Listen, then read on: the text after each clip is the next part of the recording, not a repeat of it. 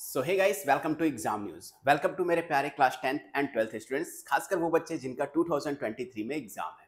Guys half yearly का time आ चुका है एंड कुछ बच्चों के हाफ़ ईयरली के एग्ज़ाम शुरू भी हो चुके हैं। तो क्या ये हाफ़ ईयरली का जो एग्ज़ाम है तुम्हारे लिए इंपॉर्टेंट है? इस वीडियो को लास्ट तक देखना क्योंकि बहुत इंपॉर्टेंट पॉइंट्स बताऊँगा जिसको हेल्प से तुम मतलब आ, जिसकी हेल्प से तुम बहुत ज़्यादा अच्छे मार्क्स भी गेन कर पाओगे। तो ये बेसिकली हमारा हाफ़ ईयरली का एग्ज़ाम शुरू होने वाला है या फिर शुरू हो चुका है।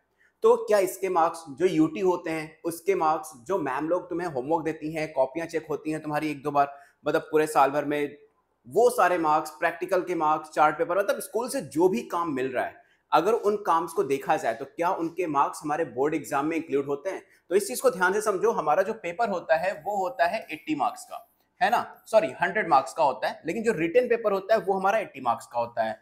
बाकी का जो 20 मार्क्स का होता है, उसको हम बोलते हैं इंटरनल असेसमेंट या फिर इसको हम बोलते हैं प्रैक्टिकल के मार्क्स और ये होते हैं थ्योरी थ्योरी वाला पार्ट तो तुम्हें अच्छे से पता होगा कि क्या रहता है, क्या नहीं रहता है। प्रैक्टिकल वाले मार्क्स की अगर हम बात करें तो यहाँ पर क्या क्या इंक्लूड होता है?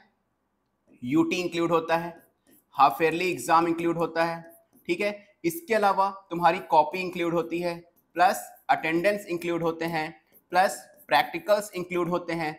इन सारी चीज़ों को, और प्लस तुम्हारे स्कूल में तुम्हारा जो बिहेवियर होता है, वो भी इंक्लूड करता है। यस स्कूल बिहेवियर अब तुम्हारा अगर स्कूल में बिहेवियर ही खराब होगा ना तो इंटरनल में मार्क्स जो मिलते हैं ट्वेंटी मार्क्स उसमें से मैम लोग पंद्रह तक दे देंगे, या सर पंद्रह तक दे देंगे।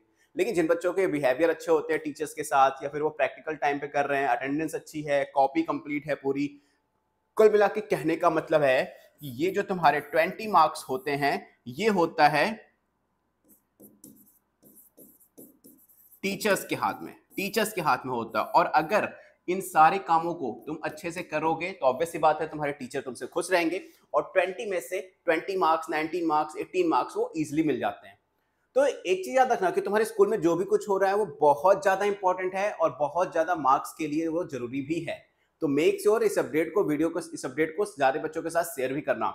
एंड तुम्हें पता है कि सीबीएसई e ने इस बार एग्ज़ाम पैटर्न में तीन तरह के क्वेश्चन देने की बात कही है।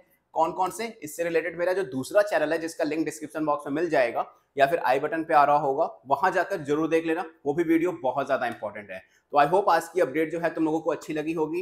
एंड अपने स्कूल से एक बार ज़रूर कंफर्म करके मुझे बताओ कि क्या तुम लोगों के रजिस्ट्रेशन कंप्लीट हो गए हैं। एक बार अपने स्कूल से क्लियर कर लो कि, सर, मेरा रजिस्ट्रेशन क्लियर हो गया है या नहीं हो गया है?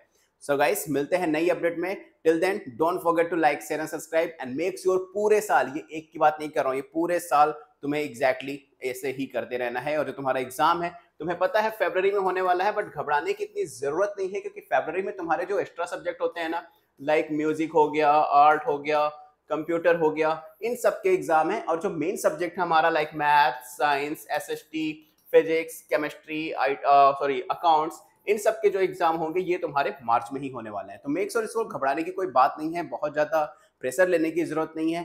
तुम्हारे बोर्ड एग्ज़ाम होंगे बोर्ड एग्ज़ाम से पहले तुम्हारे प्री बोर्ड्स होंगे।